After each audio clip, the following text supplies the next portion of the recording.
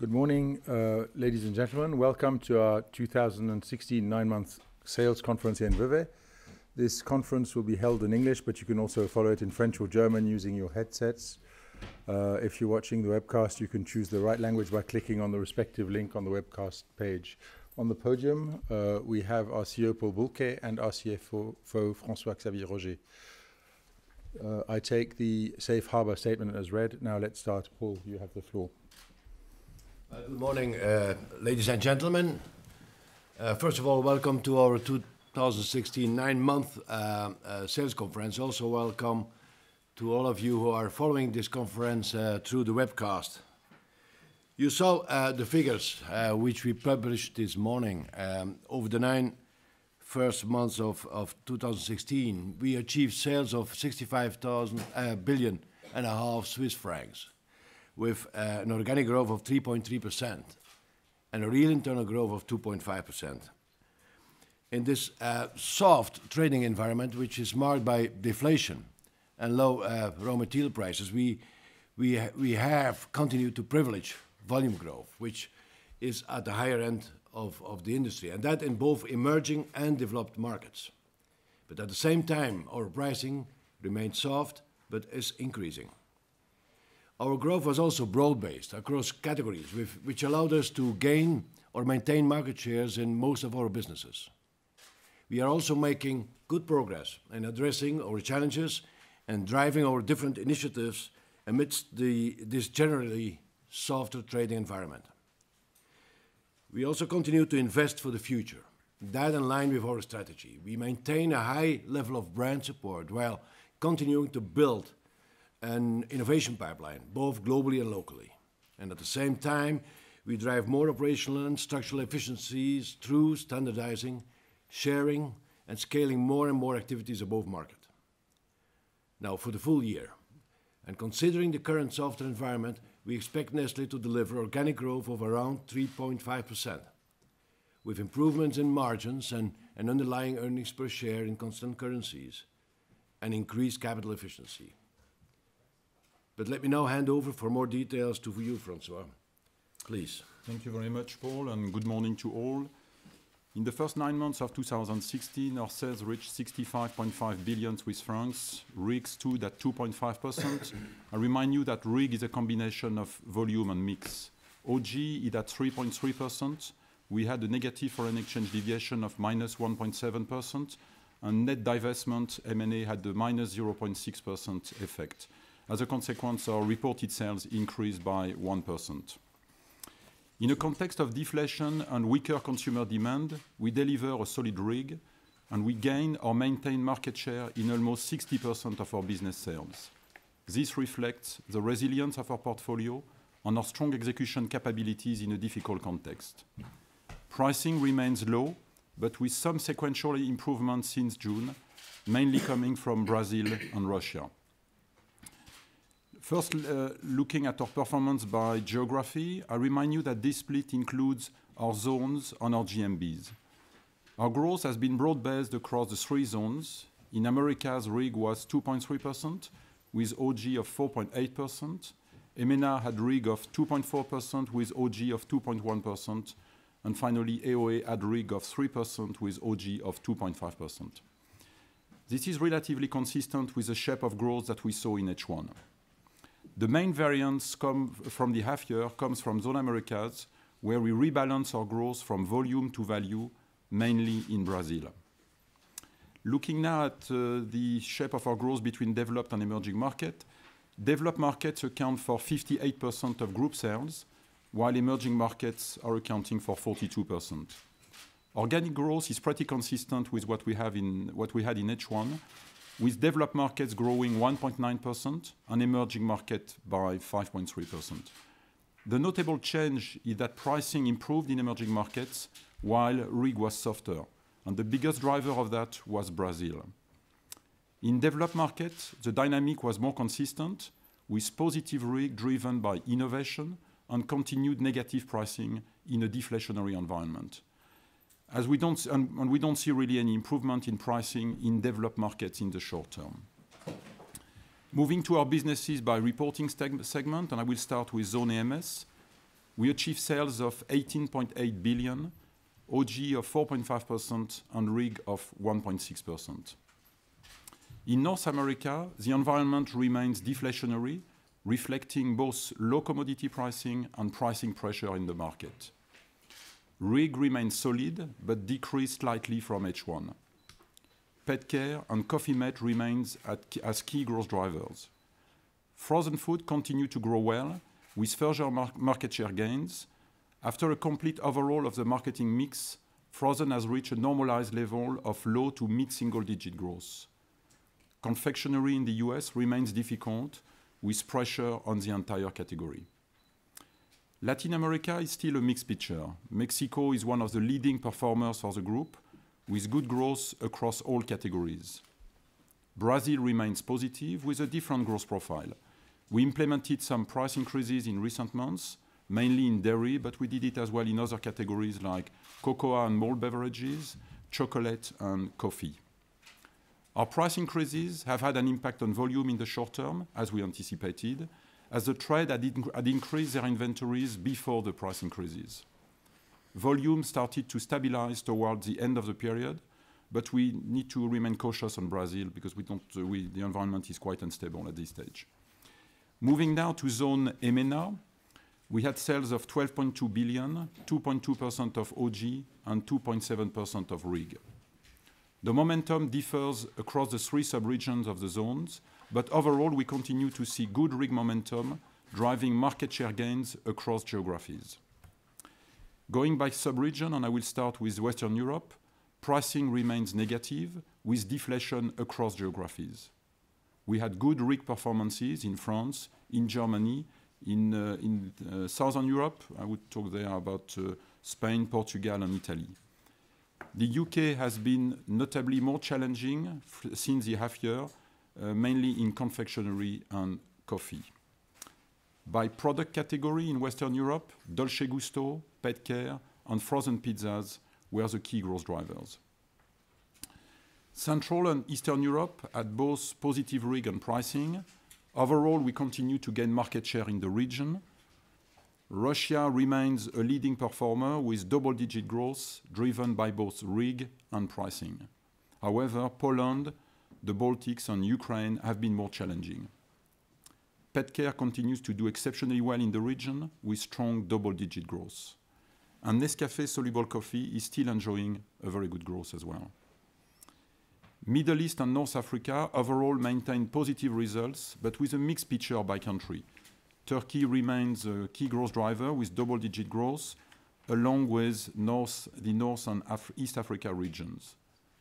The Middle East is more challenging, and the ongoing instability has impacted our ability to supply countries like Iraq, Yemen, or Syria. Finally, in EMENA, we are happy to confirm the start of our operations at Froneri, our new ice cream joint venture. We will move to equity accounting for this business from the 1st of October 2016, and we are very excited about the significant potential for value creation through this partnership. Moving now to Zone AOA, with sales of 10.6 billion, 2.8% of OG, and 2.7% of RIG. The majority of markets in AOA are showing a good and sustainable growth with meaningful market share gains. This includes some categories in China, but as as expected, Yinlu remained challenging and diluted the growth acceleration of AOA since June. Southeast Asia has maintained its uh, high single-digit growth. Most markets performed strongly, from Indonesia to the Philippines and Vietnam. This strong performance was driven by Milo, coffee, ready-to-drink beverages, and Maggi. Sub-Saharan Africa continued to grow well across most categories, especially with Maggi and overall the affordability range, what we call PPP. Within the region, countries like Nigeria, Angola, Ghana, Ivory Coast are the highlights. And as far as developed market is concerned, Japan's solid growth continued to build on innovation and premiumization, mainly with Nescafé and KitKat. Oceania is still under pressure, mainly from pricing, in a very challenging trade landscape with intense retail competition. Moving to India, we have made a strong return to growth in the market. Maggi noodles have continued to gain market share since uh, the relaunch, and we are now at 58% market share, and sales are back to about 80% of the pre-crisis levels, ahead of expectations, and our strategy to continue engaging with consumers, even at the heart of the crisis, is really paying off now. Looking in more details at China, the market remains rather challenging. The uh, food and beverage categories in which we operate are basically flat in terms of growth, but we have performed well in coffee and chocolate, as both had double-digit growth. As we said at uh, this year's investor seminar in May, the turnaround of Yinlu will take time as trading conditions remain difficult. Now let's move to uh, our globally managed businesses, and I will start with Nestlé Waters. We had sales of 6.1 billion, with 4.2% of OG and 4.4% of RIG. Nestlé Waters delivered solid growth in all geographies, with strong growth in emerging markets. We also saw solid growth in Europe, in spite of the very challenging comparatives. The U.S. grew well, despite the fact that we lost some sales from the destruction of one of our factory in Texas by a tornado earlier in the year. The international premium brands, Perrier and S.Pellegrino, continued to drive an attractive performance across markets.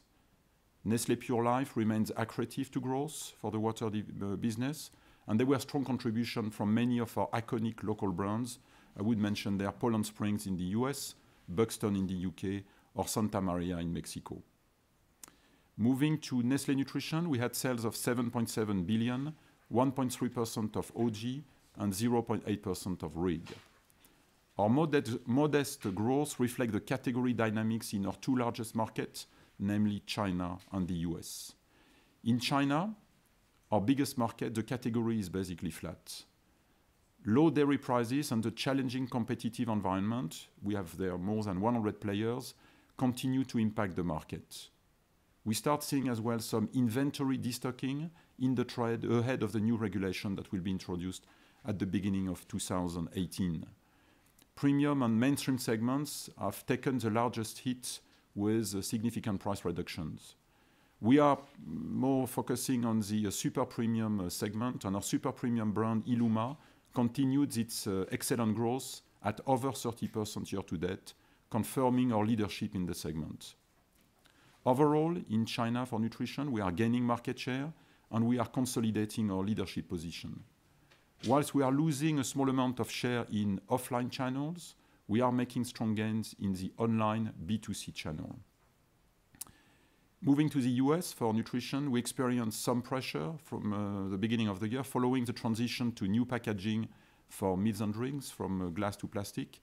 We also had some supply issues with pouches, but this is largely behind us now, and we are starting to regain positive momentum in the U.S. We had good performances in a number of other markets across Latin America and Asia.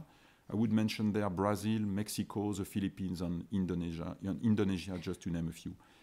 However, the social and political instability in the Middle East has impacted our ability to supply the market. Let's move now to uh, our other businesses, which include Professional, uh, Nespresso, Nestlé Health Science, and Nestlé Skin Health. We had sales of 10.1 billion, OG of 4.6%, and RIG of 4%. Starting with Nestlé Professional, this division grew in both emerging and developed markets, although Europe continues to be a little bit tough. We have announced earlier this month a change in the business structure of Nestlé Professional, which will uh start with effective which will be effective from the first of January 2017. We will be merging Nestlé Professional into the zones with the support of a strategic business unit. We believe the new structure will allow us to better leverage market-specific knowledge and platforms. We will restate our group accounts next year in order to allow comparison. Moving now to Nespresso. Nespresso maintained its uh, good growth momentum across all regions. The geographic expansion continued. We opened 21 new boutiques across the world since the beginning of the year. Europe's growth remains solid and resilient in the context of an increased competition and higher penetration rates, and we have seen a strong momentum in the U.S., driven by the VertuoLine system. Talking about the VertuoLine system, we have now even launched this system in France at the beginning of, uh, of this month. And we also see double-digit growth for Nespresso across AOA and Latin America.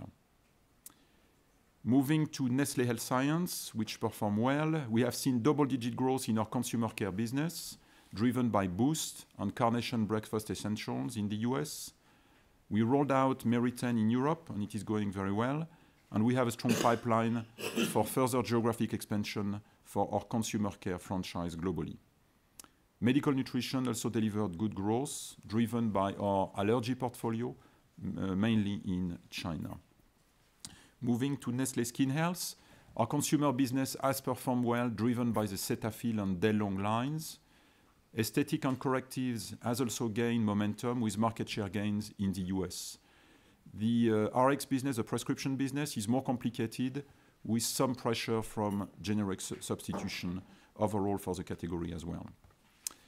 Moving now to product categories. I will not spend too much time here because we covered most aspects as part of the zones on globally managed businesses. Uh, we'll just cover quickly powdered and liquid beverages that had a strong and consistent performance, driven by continued good growth momentum across Nescafé Dolce Gusto, soluble coffee, as well as Nespresso, as I just mentioned. Overall, for coffee, we gain further market share during the period. Waters, we have discussed already. Milk product and ice cream, the performance of uh, this line is impacted by Yinlu, which we have already discussed. In terms of uh, dynamics since June, pricing has accelerated whilst RIG has slowed down, which largely reflects the pricing action that we had in Brazil and that I mentioned earlier. Nutrition and health science include Nestlé Nutrition, Nestlé Health Science, and Nestlé Skin Health, and we have already talked about it, so I won't repeat myself.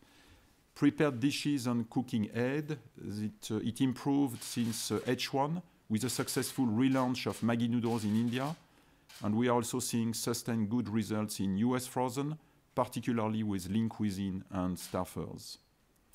Confectionery remains under pressure with negative RIG, we face challenges in the uh, mainstream chocolate market in the US, as well as some softness in Brazil and also in the UK. KitKat continues to do well globally. Uh, we are addressing our challenges in confectionery through innovation and marketing support behind our brands. Pet care, to finish, has maintained its uh, good growth momentum with strong contribution from Latin America and Europe, particularly Eastern Europe, and with very good market share gains across uh, zones. The U.S. continues to perform well for pet care, and we have recently relaunched both Beneful and Chow. In summary, we feel these results demonstrate our resilient portfolio and strong execution, which is supporting real internal growth momentum in a context of weaker consumer demand globally.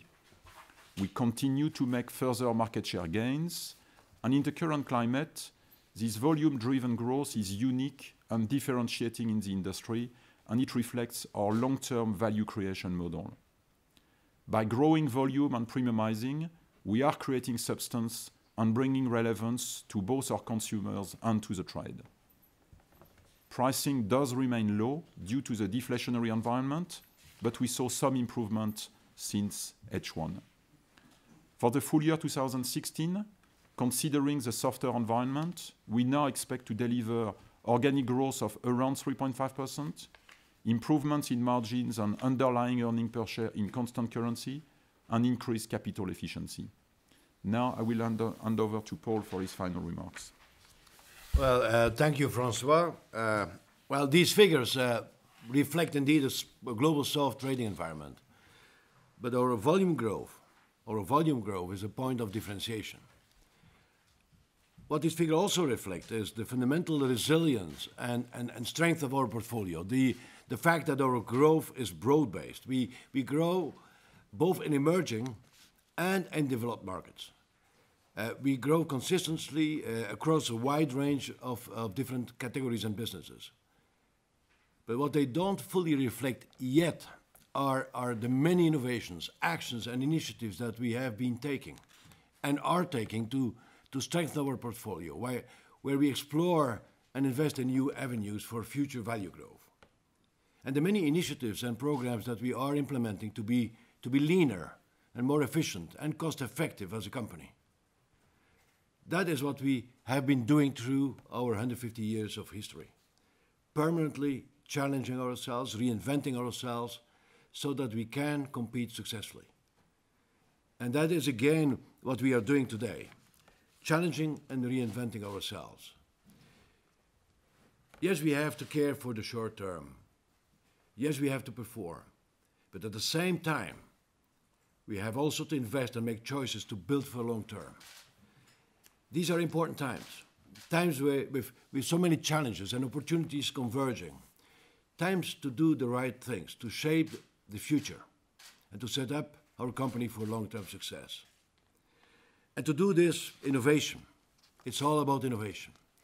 Innovation is at the core of everything we do.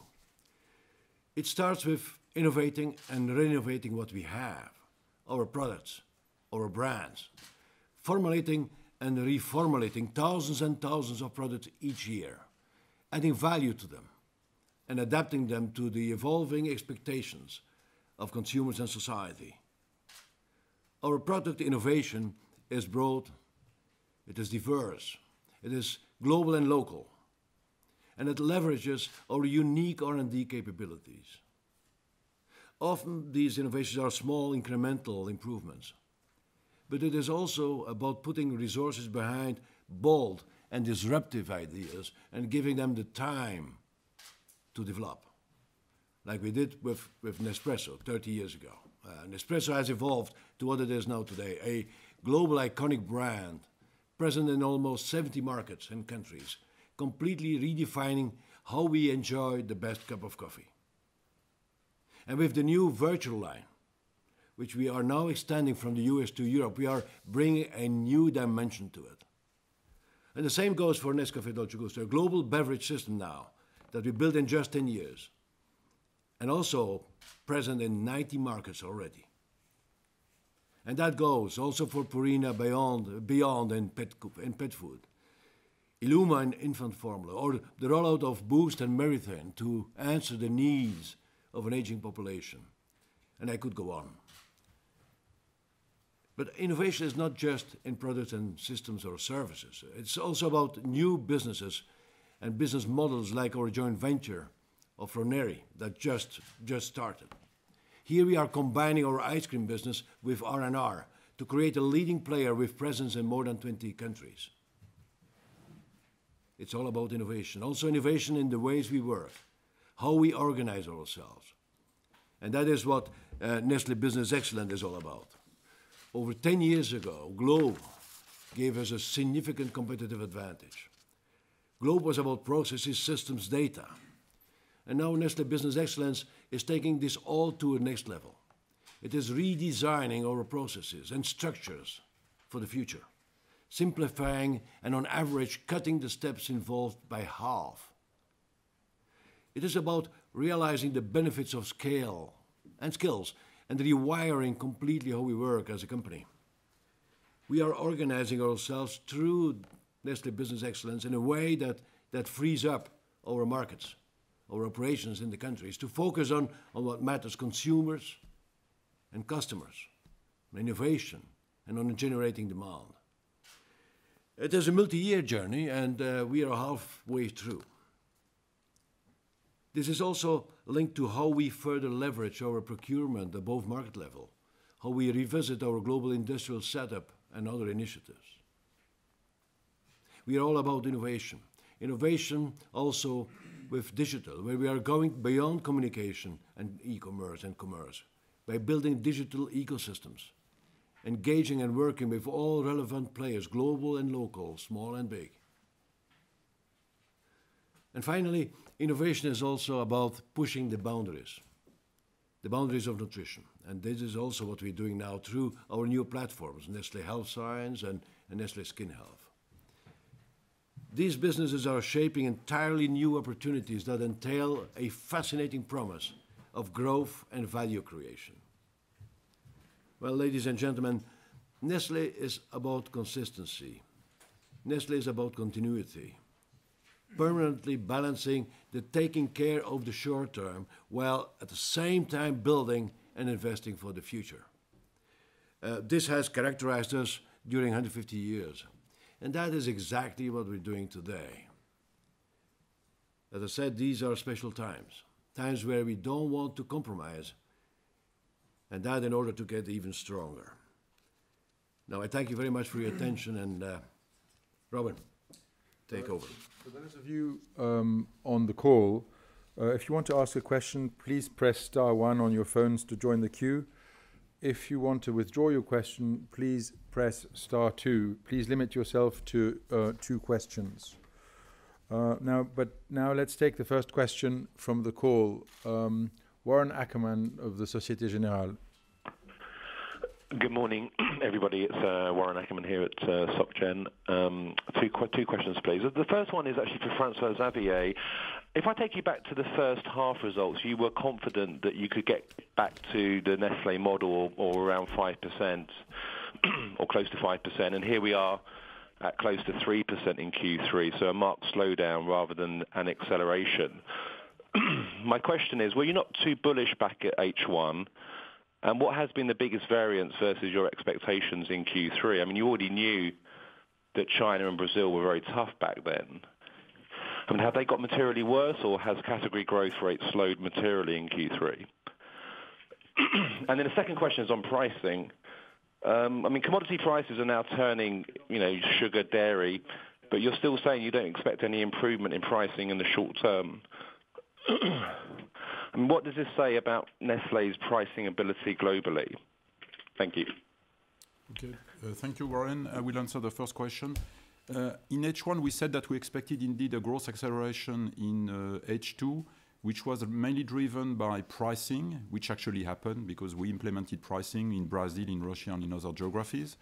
We expected as well to get an acceleration coming from easier comps because we had a one-off adjustment last year. It happened as well. Because of innovation, which happened as well, and portfolio management. But portfolio management is something that will happen in Q4 because this is linked to the Froneri deconsolidation. Um, we had said as well uh, at that time that there were a couple of risks. One of them was the impact on volume in the short term due to the price increases that we have put through. Some of it happened, and especially in Brazil. Although at the end of the period in Q3, we started to be back to um, positive volume growth in Brazil. So there was not really a negative elasticity. As I said earlier, there was a little bit of piling of inventory, maybe by the trade, before we put through the price increases and then some adjustment in July and August, but we were back to the normal situation at the end of September. What uh, I would say surprised us a little bit is a general soft consumption across the region, which we didn't expect. And I think that through that, we can see that the growth is relatively fragile in the fast-moving consumer industry overall. I don't think it's only for us. I think it has been reflected as well in markets in general. Moving to your second question on commodity pricing, we have seen uh, indeed over the last two quarters some increase in commodity pricing. It doesn't reflect fully yet in terms of uh, pricing because we have some inventory first, and we have uh, put in place some hedging. So usually there is a six to nine months delay between the uh, commodity pricing in the market and uh, the time when it impacts our P&L. So I don't think that we can conclude uh, anything at this stage in terms of pricing power. We are confident that we have good pricing power because of the strength of our brands overall. But on growth, it's true that actually, I'm an optimist, and I would not say bullish. Um, and it's true also that the deflationary environment is somewhere uh, lasting and is deeper and lasting longer uh, than we all would have expected. And uh, pricing, we backed off. We have we are privileging uh, through all the initiatives we have in innovation, etc. Volume growth because that is what sticks. We saw some pricing. We thought we had more pricing needs uh, than actually, considering the deflationary environment, we actually have to apply. That is what combining these two things is uh, what brought us where we are. And uh, I just want to stress again, we have volume growth linked with market share gains on the higher end of the whole industry, and and that is what stays afterwards. And so um, yes, uh, that's why we uh, projected 3.5 percent uh, for the full year. Thanks, Paul. The next question from the call is from Eileen Khoo, Morgan Stanley. Good morning, gentlemen. Um, it's Eileen Khoo here, uh, Morgan Stanley. Um, I have uh, two quick questions. The first one is actually, I suppose on the pricing market share equation. Uh, obviously, you're talking about the fact that you're prioritizing volume and market share. But I suppose now that you're starting to take pricing, are you seeing that reverse? Um, so can you talk about that generally? And then secondly, when you talk about guidance being you know, now around 3.5 for the full year, am I right in in understanding that that implies an acceleration in the 4Q? And if so, what confidence do you have that momentum will improve? Is it to do with the innovation pipeline that you alluded to earlier? Can you just give us a bit of clarity on that? That would be great. Thank you. Well, pricing and volume is always a fiddle line. You know why we always say pricing is done locally. There's no such thing as a global dimension or a global instruction uh, of our company. But if you have a lot of efforts going in in innovation, if you have a lot of brand support, et cetera, that has to reflect in your market positions and and, and, and, and driving the categories. We have leadership in many, many markets. So it is for us to drive these categories in a deflationary soft environment. That is what we're doing. That's where this uh, uh, market um, uh, and shares and volumes are coming into play. This is important to us. As I mentioned, that is what stays. Um, When we do pricing, yes, you have certain effects. Uh, we saw that uh, uh, to a certain extent in Brazil, where we had quite substantial pricing in certain categories, and there you have a certain adjustment. You have always a little bit up front of pricing, some some some um, retail actions, etc. But then we saw it straight away coming back. The strength of brands and the strength of the support behind our brands is what, at the end of the day, stays, as I said, sticks. And that is what we are looking for. Just to be more specific, if I take the example of Brazil, we increased our prices significantly in June. That being said, we continued uh, seeing our market share increasing in Q3. so Which means that uh, we managed to handle it, uh, I think, very well. But obviously, we changed the profile of our growth from, as far as Brazil is concerned, from volume to value in Q3.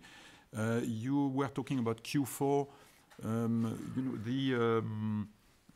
Our uh, guidance for 3.5% this year is actually very close to where we are today at uh, 3.3. So we um, we see some color coming back from innovation, from pricing, uh, obviously, but we want to be cautious in view of the consumption slowdown that we noticed across the board in Q3 for us and for our markets. And we saw in the third quarter already, some pricing that's going to be part of that, too. So that's why we project 3.5%, around 3.5%. Okay, thanks. But now let's take the first question from the room. Ralph.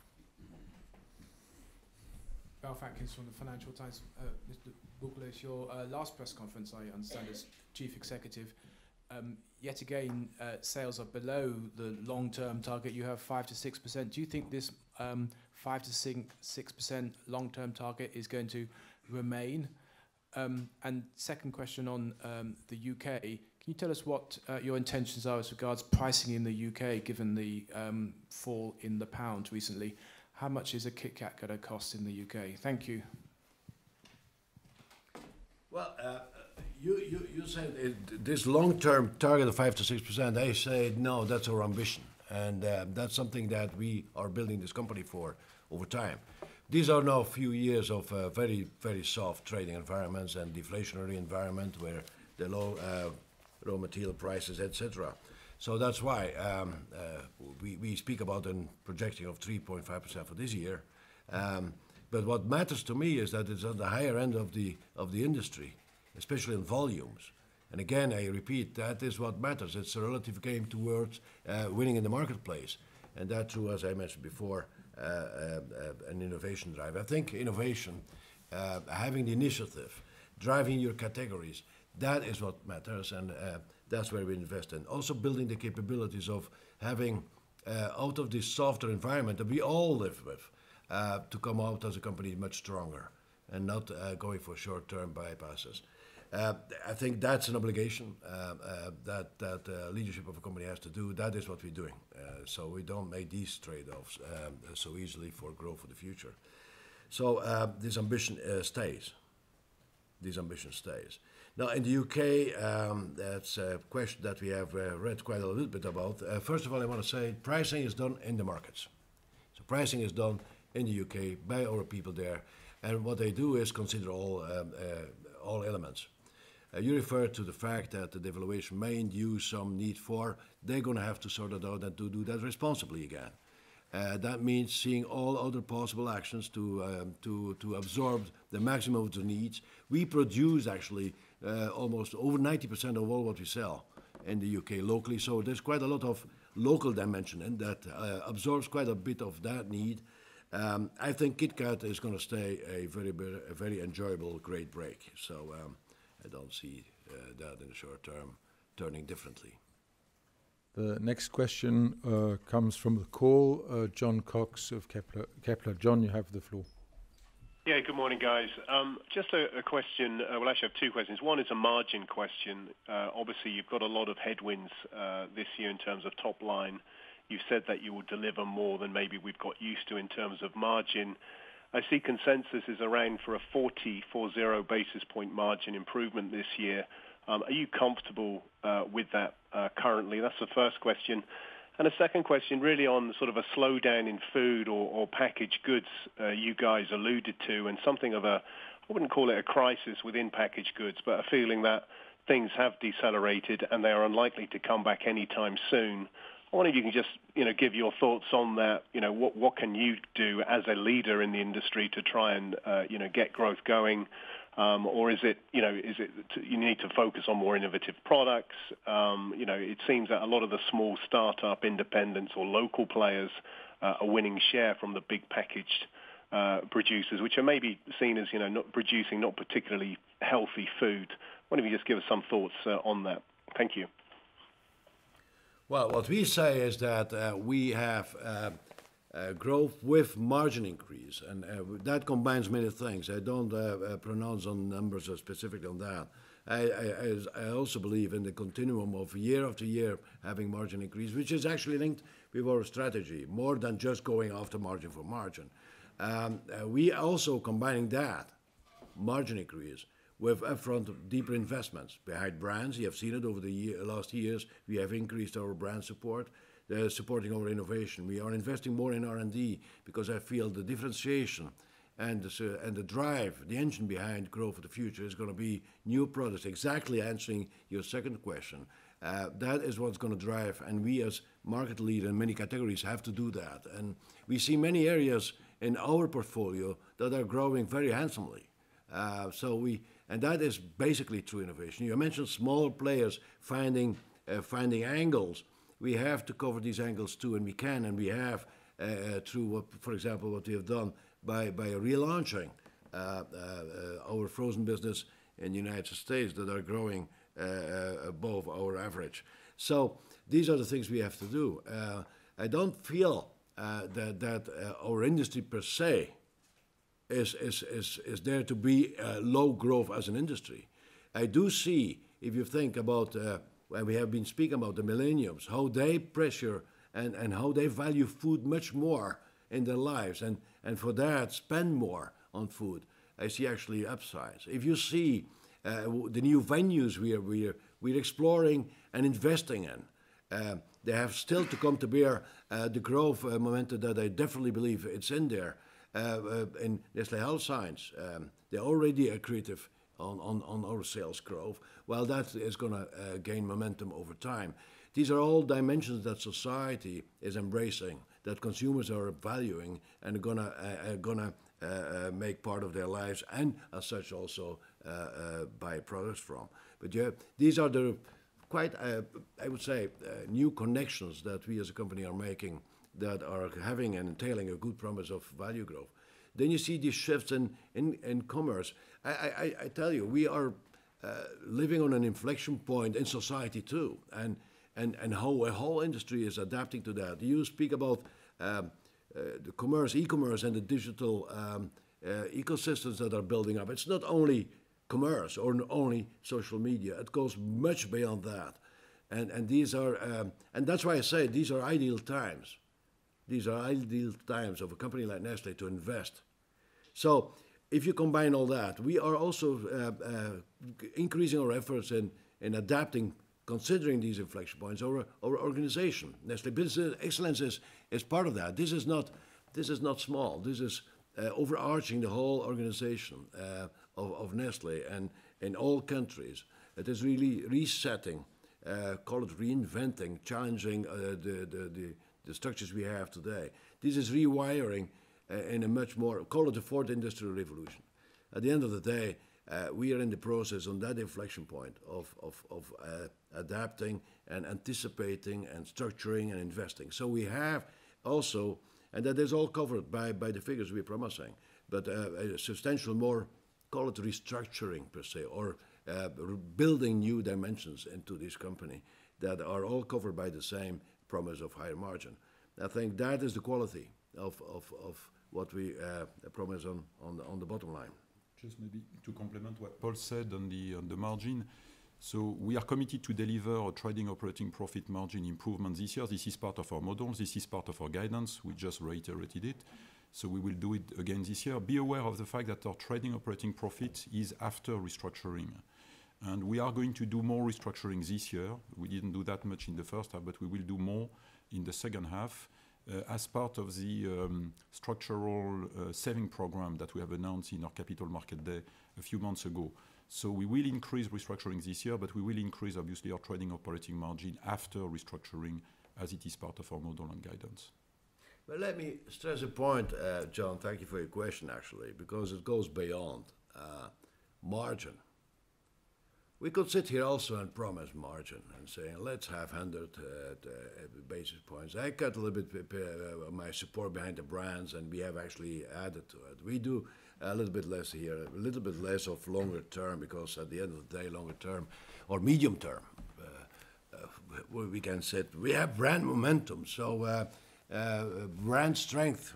So I tell you one thing, that is exactly what we should not do. Uh, uh, because that creates what I call um, uh, business anemia or company anemia. And, and, and it's that balancing out um, that, that, that, that is what we want to be as a company, balancing out this, this continuous delivering um, uh, uh, because it is intrinsic to, to our strategy, added value, uh, more efficiencies. That should reflect on the bottom line. But at the end, also continuous in, in investing so that we have this fine balance of, of, of uh, short, long, and medium and long term. And, and I think uh, that is what brought us here as a company. So during now 150 years, this is an anniversary year. Um, uh, that is what we do now today. We can do that uh, today because somebody did it in the past. Well, I want whoever comes after to say the same things. Uh, but you have to balance it out. Yes, you have to deliver today too. That's what we call the model. Um, the next question is from the call, uh, from James Targett of Berenberg. James, you have the floor. James? Okay, let's take the next question from the room. Um, John? Uh, John Revill, Reuters. Good morning, gentlemen. Um, a couple of points. I was wondering, just following up to um, Ralph's point, could I have a little bit more colour on how you see the UK market developing in the future? post Brexit? And also, how will this, will this affect your um, investments in the country? That's the first point. And then, secondly, you said that um, 90% of your products are produced in the UK, but obviously, you still have to buy quite a lot of commodities to go into your factories in the UK. So, the currency shock is going to have some effect. So, can you give us some kind of, kind of colour on the effect of the currency shock, how that will affect pricing there? I know you do it locally, but there's got to be some kind of ballpark guidelines there. And then secondly, you've talked in very broad terms about innovation and things like that to drive growth moving forward. Is there any kind of specific examples you can refer us to or give us a bit more specifics on how you think you're going to get pricing back moving forward? Thank you. Well, let's first Brexit gives, get some form and shape and definition because we all speak Brexit. I wouldn't speak about Brexit until they really landed, what it means and all that. But fact is, uh, uh, our investments. Uh, we're going to see we have invested quite heavily in in in the U.K. And so whatever they export again, well, the added value they deliver is actually making them more competitive in that sense for what they... And we export quite a bit to Europe from Uh, the U.K. So, uh, we have an investment plan that is basically a long-term uh, structure, so we're not gonna start now revisiting all the investment we did and starting to to readjust that. Let's first let the dust settle, um, and then to give that some perspective. Investments are long-term commitments, so we're not gonna start doing short-term dimensions and corrections and decision-making on something that is, for us, medium, long term. Even more so as what I said before, let's Brexit first get some form and shape. Uh, then, uh, on uh, we we do import. Yes, do we We we we have cocoa very strongly, coffee very strongly, and again, that has to be seen how we fight and and land that dimension um, in in the U.K. and And there is many forms and uh, things, uh, uh, actions that can be taken to help, and we actually also in an efficiency drive to help to absorb part of it. But then locally, when it has to be, it has to be. We're gonna see. And then again, it is not back to back straight away. You have to pace that out, and and and you have to be empathic with the consumer, but you have to care also about the substance of your business. Combining that, that's the balancing act that we are always doing. We have increased prices Eh, in Brazil, but balancing that out. In Russia, we had to increase certain eh, parts of our business, too. I would not eh, ask for more definition for the time being. Let's the dust settle first. The next question is from the call, David Hayes of Merrill Lynch. David, you have the floor. Morning, all. Thank you. Um, firstly, just on the sequential profile of the quarter, you've obviously alluded to the fact that the beginning of the quarter was tough due to the pricing shock and the inventory build at the back end of last quarter. Uh, and so I just wonder if I can tempt you to be a little bit more specific about uh, maybe the months within the quarter, or certainly the beginning of the quarter, the back end of the quarter, in terms of the RIG. So as you look at the 1.9%, uh, how much better at the end of the the exiting of the quarter it was? And then secondly, um, Mr. Schneider, I believe, has has been with you now for about six weeks or so, shadowing Paul, I imagine over over that period. I just wonder whether you can be a bit more... Whether you can tell us what he's been up to uh, in the early uh, days at Nestlé, and then I guess more specifically as chairman, Paul, uh, and as part of the board, what kind of objectives and remit you've you've given Mr. Schneider as he comes into the business beginning of next year, formally? Thank you. Maybe I'll take the Yeah First part of the question. No, I don't want to comment on months because it's difficult to read anywhere. On the top of it, there were different number of invoicing days in July and August, so it's very difficult to read. Even from time to time, for us, it's very difficult to read, and we don't manage the business by the by the month. My comment earlier was just about Brazil, because we saw some pile-up of inventory prior to the uh, to the price increase at the end of Q2, but we went back to a normal situation as far as volume growth is concerned, post-price increase for Brazil, but I don't want to comment further on, on any given month specifically. Mark Schneider, indeed, he's six uh, weeks with us. He is uh, the most, uh, I would say, visible trainee we have. And um, um, he is actually not shadowing me um, in that sense. What he does is he gets to immerse in the company and its operations. He's connecting with with all the different dimensions of this company here at the center, also in the markets. And he is Uh, with me in certain uh, dimensions, uh, like our executive boards, clearly. So what he does is being a sponge and absorbing this this multifaceted, fascinating dimension Nestlé is. So that's that's what he is in for. So um, then you ask about the the objectives as chairman is to is to be chairman of this company. And I think one of the very important objectives for next year is also to to make sure first that I assume and get um, in the saddle there. Um, I have the privilege of having part of being part of the board already for for many years. Uh, but but also uh, having worked with Peter in continuum, so um, that that's gonna help. But then another objective is to make sure that um, uh, Mark is is very firm and good in the saddle, and and that there is continuum in this company. So I think these are the objectives for the time being. Um, thanks. The next question is from James Targett of Berenberg. James, you have the floor. Morning, everyone. Um, hope you can hear me this time. Uh, two questions. Uh, firstly, on uh, nutrition, Um, just looking at the outlook, really, over the last few quarters, uh, growth has been in the 0%-2% range. Um and going forward, obviously, we've got improving uh, dairy prices. Uh, you mentioned the supply chain issues in the U.S. Um, have been resolved. Um so should we expect a material pickup in nutrition, or is the volatility surrounding the new regulation in China going to continue to be a big drag, you think, on growth during 2017? Uh, and then secondly, just on uh, Nespresso and VertuoLine, I guess clearly the rollout into France um, has been driven by a good response in the U.S. Perhaps you could talk about how strong the growth has been of VertuoLine in the U.S., uh, and also if you have any plans to roll out VertuoLine further in other countries soon. Thank you. Well, on Nestlé Nutrition, indeed, we had a convergence of quite a few, um, um, I would say, soft elements, and the whole category worldwide Uh, uh, was soft, or I would say flat. Uh, also, you have to know that in Nestlé Nutrition, or in the nutrition business per se, China is very important. Worldwide, it's almost half of the business, um, and China has its specifics. This this whole category is resetting itself also in expectation of this new law that is actually going to clean up some gray areas and formalize this business a little bit more. That goes into our hands. Uh, what we have is, again, uh, I'm going to be repeating myself again, but um, uh, we had some supply issues by the conversion of of a whole product category. But these are the things that that are operationally um, over now.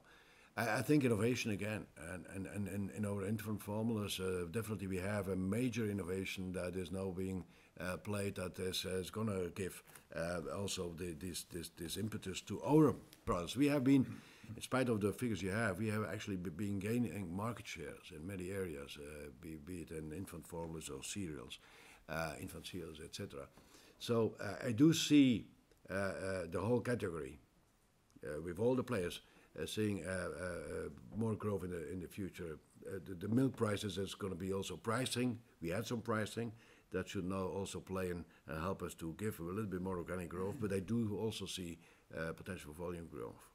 With Nespresso and VertuoLine in USA, in USA, we have good growth. It's uh, uh, double-digit growth in Nespresso. Nespresso, and I must say, USA is by by by now far also the second biggest market we have in Nespresso. You may remember we were slightly underrepresented there, and that was a little bit hurting us.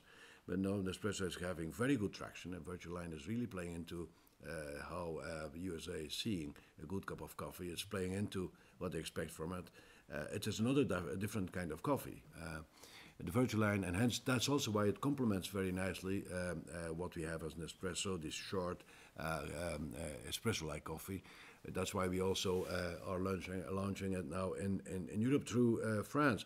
Are we extending that later on? I think yes, because it has a complementary projection Uh, to our offerings. And, and you know that that uh, coffee is is is our world. We have that fantastic brand, uh, Nespresso, to cover the different areas there too, in the characteristics, in the personality of Nespresso is what VertuoLine does. And then we have also the Nescafé, because that's how we see coffee. We have two fantastic brands arming Uh, uh, this this, this, this, market very well and complementing the different uh, angles to this market. So, um, so we see Nespresso with with VertuoLine that complements the offerings we have so far as having continuous growth for the future as it had in the past. Just to add some color on VertuoLine in France. As you know, VertuoLine is addressing the need for long coffees. What is interesting is France is our largest market as far as Nespresso is concerned, but we cover only 38% of the home consumption, uh, given that uh, short coffees or espressos are only 38% of home consumption of coffee in France. So we are now, with VertuoLine, addressing the other 62%. So it's quite an interesting proposition from that point of view. And just coming back to nutrition in China, it's difficult to read what the future will be made of. There are some positives. There is a second child policy, for example, which might impact positively the market. The fact that milk prices internationally have increased significantly recently. Uh, the fact that the gray market is somewhat uh, stabilizing or uh, getting reduced significantly. All of this is moving in the positive direction. That being said, we still expect some, not turbulences, but a little bit difficult time maybe in the short term given that there is a fairly large level of inventory in the trade, not necessarily for us, but overall for the industry. So there is a risk that uh, ahead of the legislation, some traders might be tempted to dump uh, product or to reduce prices in the short term. So we remain quite cautious still as far as China is concerned for uh, infant nutrition. Thank you. And the next question from the call is from Mitch Collett of Goldman Sachs. Mitch, you have the floor. Hi there. Um, you talked about stepping up marketing spend, uh, and we can see that marketing and admin has increased as a percentage of sales pretty consistently since 2012, but you're about to report your fifth straight year of organic growth slowdown. Do you think you're getting an adequate return on your marketing spend? Um, and I guess, what would it look like if you hadn't have kept increasing? And then secondly, I just wanted to ask on the pricing environment in the U.S., why do you think that has deteriorated, given that soft commodities are generally starting to rise? Um, and did that mean that your organic sales growth in the U.S. was in decline this quarter? Thank you. Did you get the second part? More or less. Uh, we had a very bad connection, so I heard uh, the second part. Now, uh, let me first go to the PFME has gone up, and and and you say, how do you compare that with an organic growth that is slowing down? Well, part of that slowing down of the organic growth is is linked with very, very low prices. So for me, our marketing spend is not to justify prices, it's just to create value, is to um, explore new venues, new offerings to the consumer, et cetera. So our PFME goes up, um, and you have always to challenge: um, uh, is it wisely spent? And and that is uh, uh, something that also digital helps us to do even better, to focus and uh, even better these uh, these uh, these investments.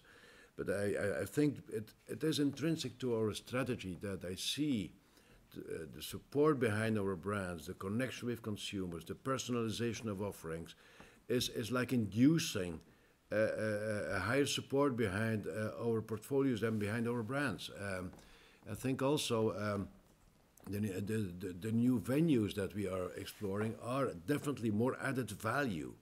Um, so more, I would say, uh, benefits built into uh, our products and brands.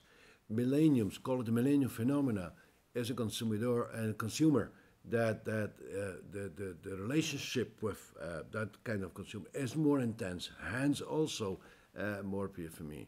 So I think uh, uh, it is the PFME is linked also with the business models and the business offerings we have.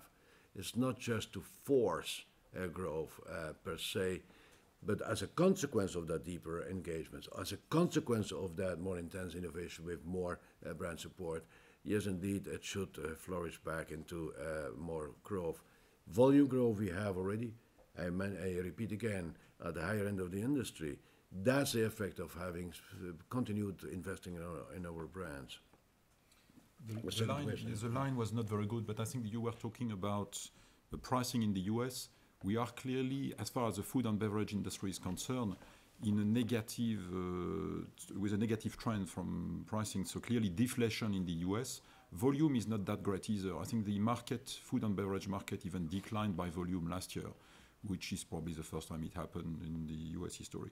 So in that context, we are quite happy actually to still grow in the U.S., and we are gaining market share overall in the U.S. as a combination of uh, both positive uh, volume and some negative pricing as well, but overall, we are gaining market share. But I think you ask if uh, you think that we are softening uh, and even going down in pricing in the United States. Well, it is at the same uh, vein and the same uh, level as as uh, the, the, the the first half. In that sense, that there's no softening or losing, uh, but it's on a low level. And, and actually, in certain categories, we're going to see how that's going to play out and mix. We have some price increases uh, like in Nestlé Skin Health etc., that's going to start playing out uh, more positively. Thanks. And the next question from the call is from Celine Pannuti of JP Morgan. Celine, you have the floor. Yes. Uh, good morning. Um, first question is on volume growth in your categories. Um, is it possible for you to tell us what do you think is right now the volume demand uh, in your categories across the globe? Uh, you mentioned that, you know, you have a better uh, RIG and volume performance than peers. I just was wondering whether we also see the risk of further decline as you are going to face tougher comp on AOA from next year, and overall, whether effectively you are going to feel the pressure of lower demand. Uh, that's number one. And number two, could you uh, share with us the performance in China? Uh, what has growth rate done in the quarter? And Yinlu seems to have deteriorated. So what exactly... I mean, I think that they were effectively relaunched. You did say that it will take time, but what is now the further step down in that performance? Thank you. The first question was. The uh, first question you asked about the volume uh, growth by category. We operate in quite a large number of categories, so it's difficult to cover all of them. Overall, the market, the food and beverage market by volume is close to zero, slightly positive, uh, and we are doing better than the market. Actually, we have the highest, I think, the highest or one of the highest growth by volume in the industry, which we clearly see, and we see that in all our categories, with one exception, though, which is confectionery. Um, for what is China, actually, it's a little bit frustrating uh, because there is indeed quite a lot of good stuff and and and and growth happening in in various uh, different categories we have. I think about uh, coffee. Nescafé, for example, is growing very handsomely. We have also our biscuit confectionery is growing very well. We have actually on the platform of Yinlu, the platform of the company Yinlu, very good things happening, like our Um, Nescafé RTD is growing double digit. Uh, we we launched Shakissimo, that is going uh, and having a good, very good take-off. Uh, we have a um, a Milo RTD on that platform that is very going well. It is this this the specific peanut milk that was wrong and is still wrong food that we have cleaned the label, etc. and it is by in proportion big. So that is why it overshadows a lot of what's happening in China. And that we have to tackle, and we are in the process. We have reformulated, we are uh, differentiating the positioning. So it's a little bit the whole marketing mix again, and it takes time. That combined with actually a food and beverage industry in China, that is give and take flat. Um, uh, that That is what what hurts us in China. That combined with the size we have there, uh, is overshadowing so much. That's actually the story of. Uh, China is a fantastic place to be. Uh, food and beverage in general is the dimension that has project of growth. We see soft pricing now here, etc. cetera, too, deflationary environment in China. Uh, can you imagine? So, but that's gonna take colors back. And so we have very good elements of growth in China, but overshadowed somewhere by that specific issue um, that is also linked with what you actually see in China. There's a whole resetting that goes much deeper than just destocking, what we have had in the last two years, uh, that linked with the slow growth. There's a whole resetting, redefining of of distribution. Uh, uh, we have mentioned that that we had quite a lot of stocks and in the multi-layer distributor structure that you had. Um, we had something like three, four layers sometimes of distributors to get to the smallest shops. And in the past, to a certain extent, it was uh, distribution growth uh, when you're in an upswing um, was done by by many players and partly also by us, by by actually call it land grabbing. It's it's, it's going and and engaging with a new distributor, going to a city um, uh, from one to two, city four, and and and and and and and lower and smaller villages by engaging new distributors. Now, what's happening is, with this slower growth and more fragile distributors, uh, with less financial, etc., are going out of business. Uh, so there's a de-engaging of quite a lot of dimensions of distribution.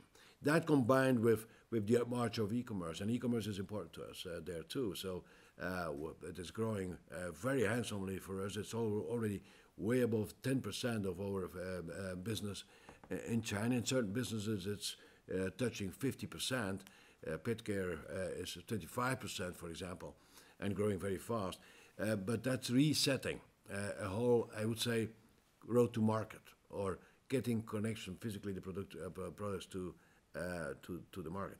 So uh, uh, it entails opportunities, but there is correction. And I think also what we learned there in China is going to be reverse inspiration for many things we're going to see happening in the other parts of the world. So uh, um, I see this as a huge opportunity, but we have to, we have to, yes, indeed, uh, try to get out of that overshadowing dimension of Yinlu, and that's uh, what we're doing. It lasts longer, it's deeper because it combines with other other uh, uh, negatives that are a little bit out of our reach, but uh, that we live in.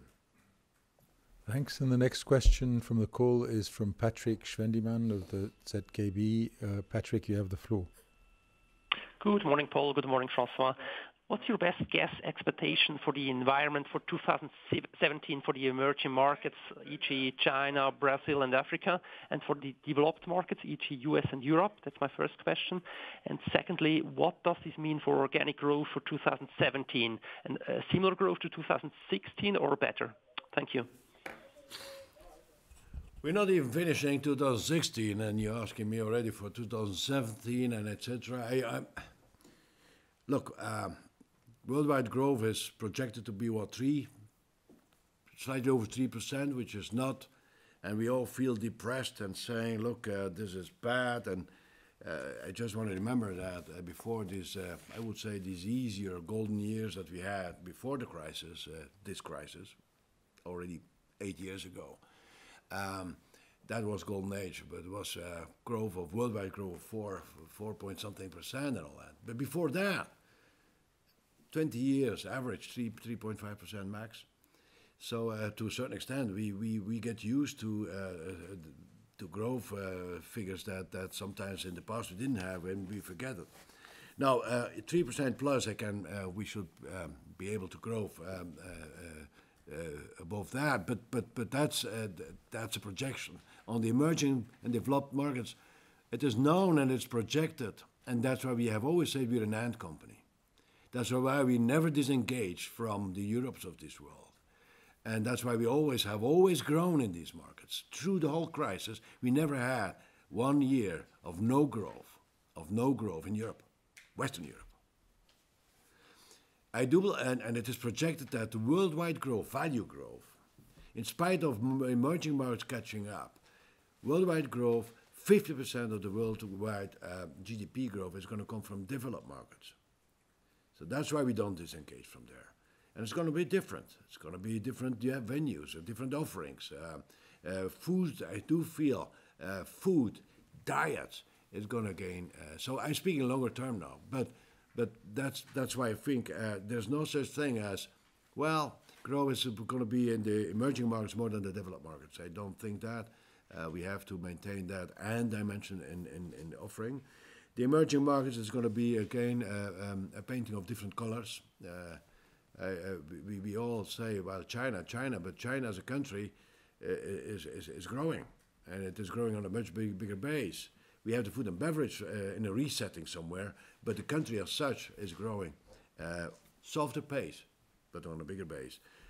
Russia, uh, challenge. We are growing very handsomely in Russia this year, and uh, there's some pricing too, but we have volume growth. Uh, so I think again that that's the resilience of of of our of our industry. Um, that combined with innovation. There I go again. Uh, Brazil, uh, Brazil uh, is in turbulent times. Uh, there is instability and all, but uh, again we have we have this local savoir-faire and, and, of understanding the idiosyncrasy. We have there, we have people there. But then again, the Mexicos of this world growing very well. we, and then you have because we're always India. Uh, growth projections and we're going out of our uh, uh, troubles there uh, very handsomely too. So, uh, but we speak about these big blocks, and then you add the many smaller ones, and, and they have very good dynamics. The Philippines, uh, Indonesia for us, Vietnam for that matter. You go to Africa and what we call CWAR, Central West Africa region. and there's turbulence there too, but that was always part of, of the world in certain places and growing there very, very good. So I, I, am going to stop here because you're going to say I'm too optimistic, but uh, I don't project any figures. Uh, I, I, don't think it's all of a sudden a flip flop and we're going to get into an environment of, of again, no, I'm cautious, and we will be cautious. But I do believe there is opportunity, and it is exactly that's why we are investing. Thanks. And the next question from the call is from Martin Deboo of Jefferies. Uh, Martin, you have the floor. Thank you very much. Two quick questions. I'd like to come back to John Cox's question on the margin outlook. Uh, François-Xavier being very clear that there's going to be an increased restructuring burden on the trading margin in H2. Uh, but my question is, what about underlying margin? Pricing is sequentially improving. You're not yet seeing the worst of commodity inflation. I don't know what's happening to marketing. You know, what would we expect to see in terms of the underlying margin outlook in H2? And the second one is just really a very simple question, leaving aside your hedging and forward buying, just how is your commodity basket moving at the moment at spot prices? Okay.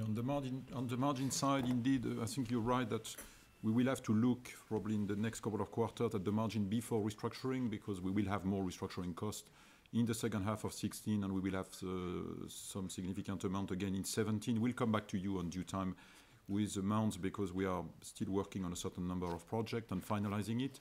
Um, you could see that our margin before restructuring had increased by 30 basis points in June. Well, that being said, we don't give Uh, any forward-looking statement as far as uh, margin is concerned beyond the fact that we will increase our trading operating margin. You have seen as well that our gross margin has increased significantly, uh, 380 basis points, I think, over the last four years.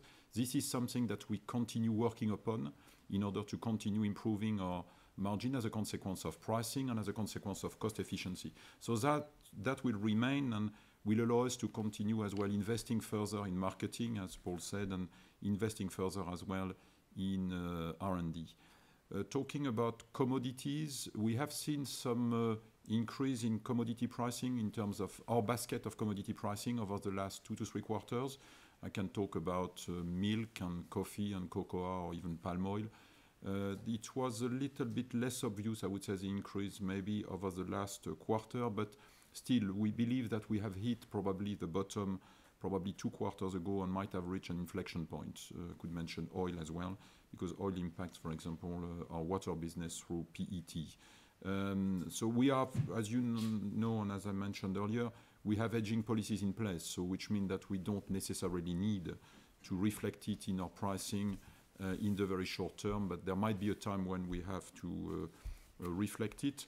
Uh, price increases is not always the answer that we have. And just reflecting back again on the UK situation, whenever we have an increase in input cost, the first thing that we do is really to work at uh, cost efficiencies uh, because, I mean, obviously, price increases is the easy part, but it is largely linked to competitive forces in a given market. So the first answer is immediately to look at cost efficiencies in order to be able to remain as competitive as competitive as we can. But we see some uh, some pickup there, and François mentioned uh, milk was on a historical low, and and and then uh, uh, it is not healthy to have extremely low commodity prices.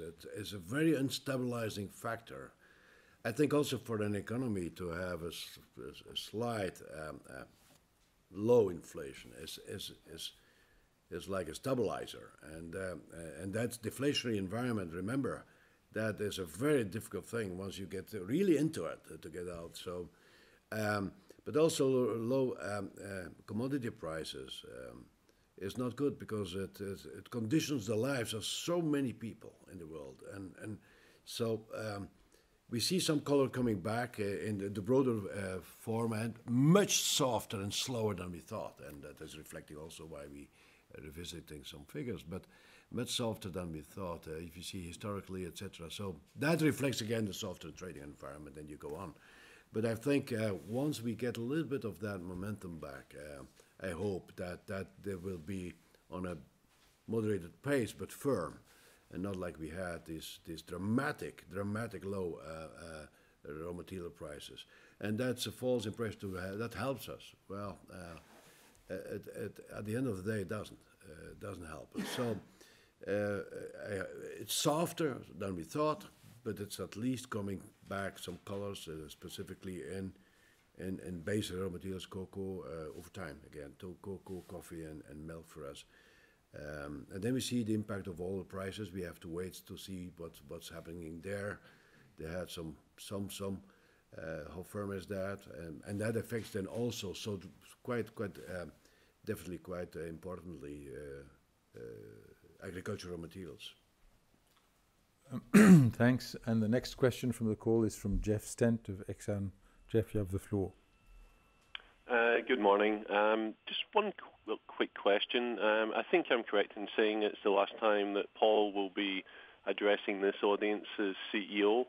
And you know, reflecting on your last eight years, Paul, you know, if you were to say what your one biggest achievement's been and your one biggest regret, um, what would they be? Yeah, I don't like, well, still sitting here is a good thing, right? Um, I I I never speak uh, uh, about legacy, it's what is, etc. But at the end of the day, we, uh, and that's all the people who have been part of this journey also, these were not easy years. Um, These these, these were actually eight years with the crisis, and and you go on and turbulences, a combination of uh, macroeconomics, but also societal, uh, political, uh, also technologies. Um, this And I call it as an inflection point. I think it's fascinating, um, the opportunities it gives, but at the same time, I think we went steady, relatively steady through all that.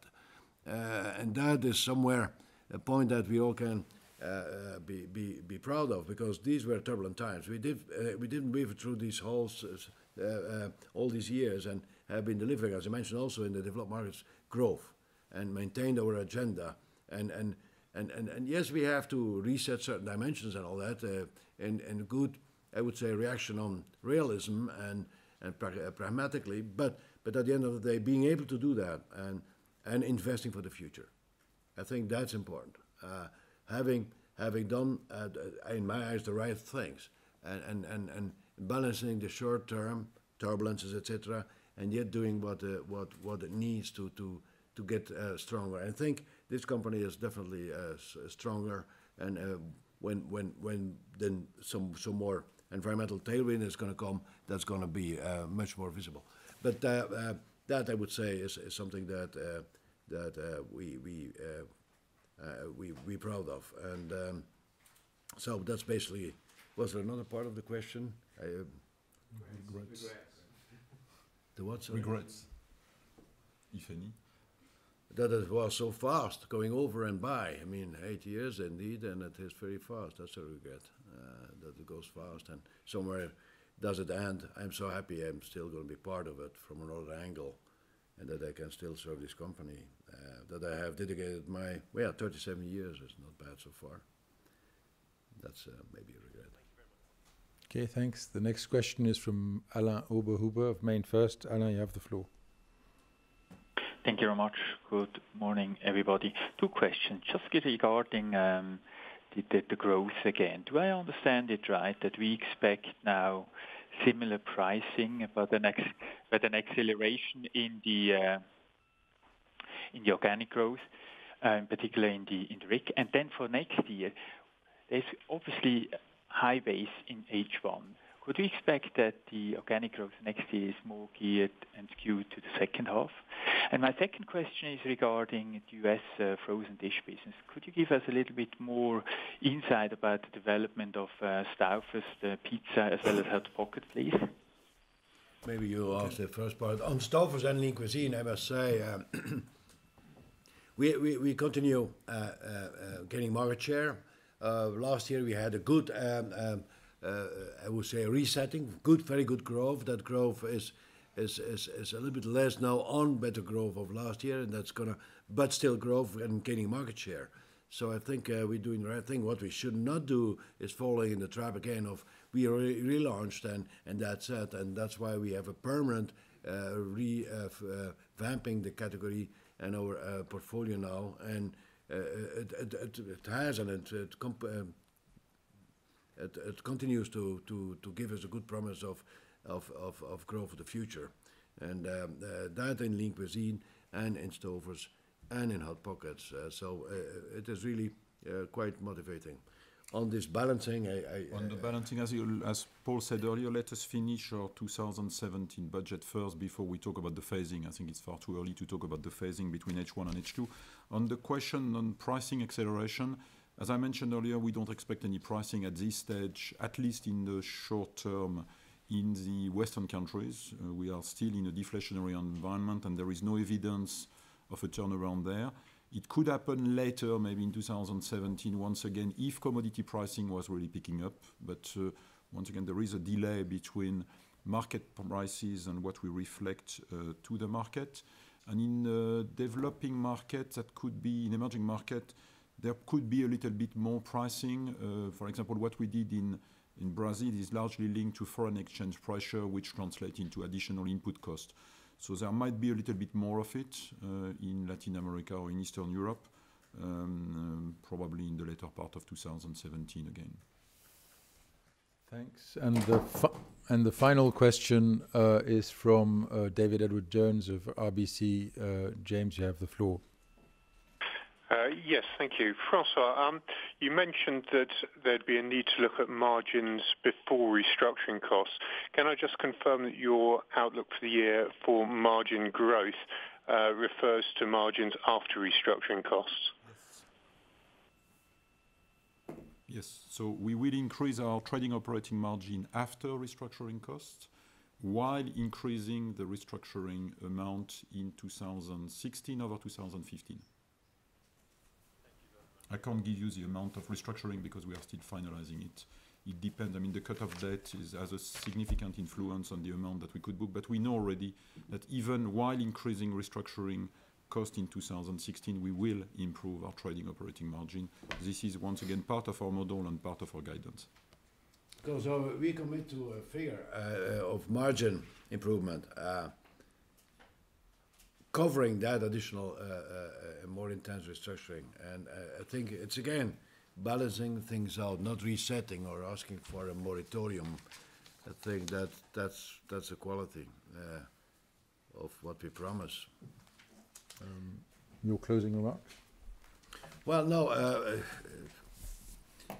Look, these are soft trading environments, et cetera. I just want this balancing of of of short term, but also having quality in our sales, uh, uh, which I see in that dimension of volume, which is not volume for volume. It represents something that is um, as leading in many categories that we own also towards the category to ourselves to drive categories. And I think um, uh, there was quite a few years of accelerated changes in all these categories. We are engaging, re-engaging, connecting, reconnecting, et cetera, but the growth was always there. And that is what I see the quality to be in the higher end of the industry, we say. But but because we also uh, lead in quite a few uh, categories, and and, and, and yes, I'm indeed, building the capabilities of compete. Uh, to be competitive is to be able to compete, and that is what we're investing in. At the same time, there's more longer term, it's this innovation. Uh, uh, I cannot stress enough the importance of keeping a a mindset, but also an engagement and resources behind innovation. And that is linked again with with science, it's uh, knowledge, but it's engaging in different models. It is also maintaining. And, and in a company like ours, it, it is a sizable company with with a lot of, I would say, um, also tradition and history and all, which is a strength, could be a liability. Not to make it and allow it to be a liability is uh, reinventing ourselves. Hence, uh, uh, I use the word NBE. It is to um, it is to really restructure and reassess and be more efficient than me and be much more effective. That is in the process we are in, and I'm very much positive for the future. So um, thank you, thank you very much. Thank you, Paul. And as usual, we're happy to take any follow-up questions via email or Twitter. I'm sure you know the addresses. Thank you very much.